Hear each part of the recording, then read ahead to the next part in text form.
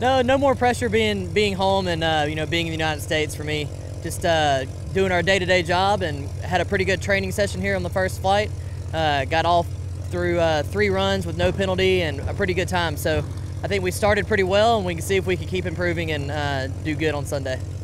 Yeah, so Indianapolis Motor Speedway in the United States is it's magical, right? It, it's, it's, it's so much prestige behind what all has gone on here, who's won here, the races that have been here. So it's super awesome being, you know, in Indianapolis Motor Speedway, being in the United States, and uh, hopefully we can do well this weekend and be the first winner at the Red Bull Air Race in Indianapolis Motor Speedway.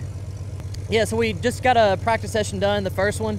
Uh, I kind of psyched myself out about the track. It was a, not as difficult as I thought it was going to be, so we had a pretty good plan. Um, made everything that I wanted to do. We got that done. Made some good notes, and hopefully we can continue to improve every every lap, every run, and uh, hopefully do well on Sunday and win this race.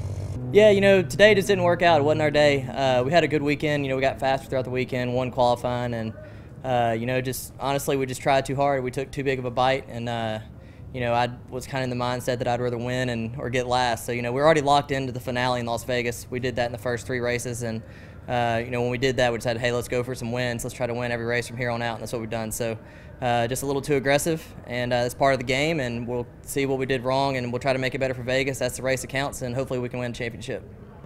Yeah, you know, it's been awesome racing in Indianapolis Motor Speedway. Huge motorsports fan, and you know, so it's a sacred place, right? And I really wanted to win here, and uh, you know, I was we were willing to either win or get last. That's how bad I wanted to win, and that's just what you got to do when you if you want to go fast, you have to take chances. And you know, we took just a couple too many, and I don't even think we were fast enough, uh, anyways, without the penalty. So um, yeah, it is what it is, and hopefully we can do better in Vegas.